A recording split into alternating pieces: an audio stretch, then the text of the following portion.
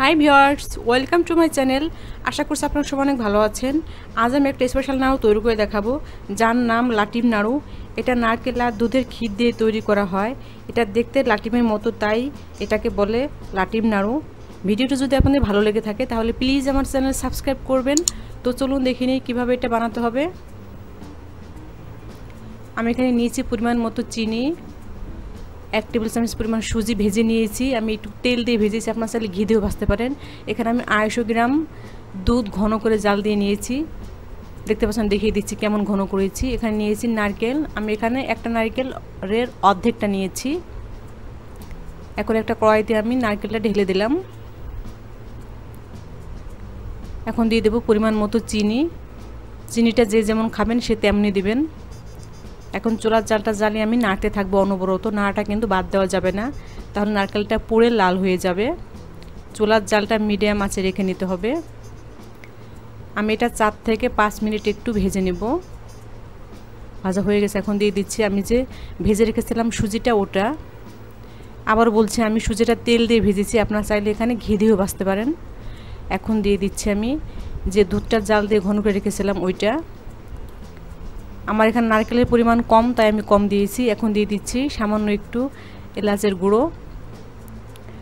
আপনারা যদি একটা নারকেল দিয়ে কেউ বানাতে চান, তাহলে সেক্ষেত্রে আপনারা হাফ লিটার দুধ জাল দিয়ে ঘন করে নেবেন।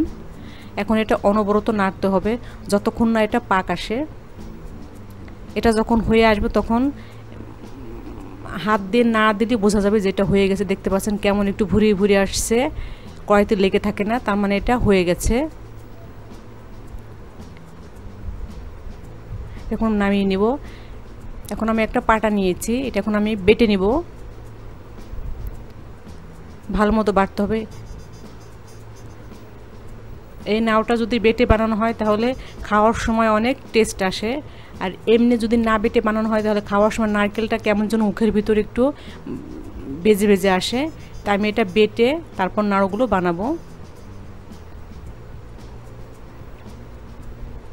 সবটা বেটে নিচ্ছি।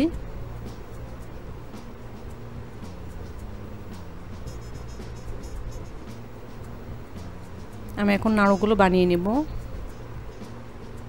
দেখেন আমি কীভাবে শেপ করছি। আমি লাটিমের মতো শেপ করব। দু হাতের তালু দিয়ে হাত দুটো টান টান করে রাখতে হবে, তা না হলে কিন্তু লাটিমের শেপটা আসবে না।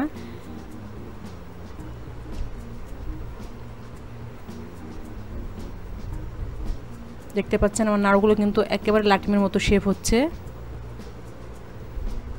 এভাবে আমি সবগুলো বানিয়ে নেব। আমি একটা একটু দেখিয়ে দিচ্ছি। একেবারে সেম লাটিমের মতো শেপ হয়েছে। আপনারা চাইলে এটা একটু গোল করেও নিতে পারেন।